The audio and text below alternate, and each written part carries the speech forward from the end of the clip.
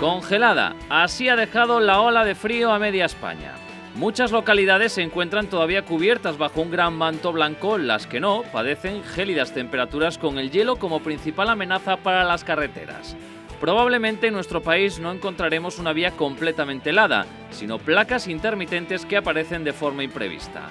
Para su detección es fundamental estar pendiente de la temperatura exterior. En la actualidad, la mayor parte de los automóviles equipan termómetro, un dispositivo que alerta al conductor si la temperatura baja a niveles de helada por debajo de 3 grados.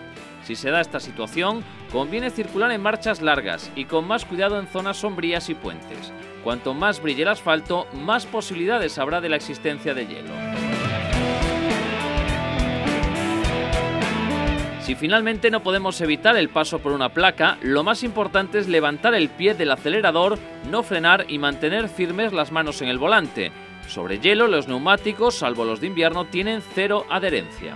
Frenar, acelerar o girar el volante es una maniobra totalmente desaconsejable.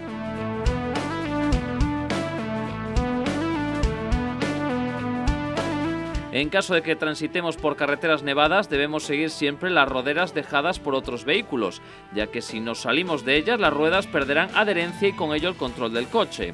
Si nieva copiosamente y nuestro vehículo no dispone de neumáticos de invierno, cadenas, tendremos que detenernos en un lugar seguro o área de servicio y esperar a que deje de nevar o a que las máquinas quitanieves despejen la vía. Suavizamos las maniobras y modularemos con sumo cuidado la presión efectuada sobre el pedal de freno.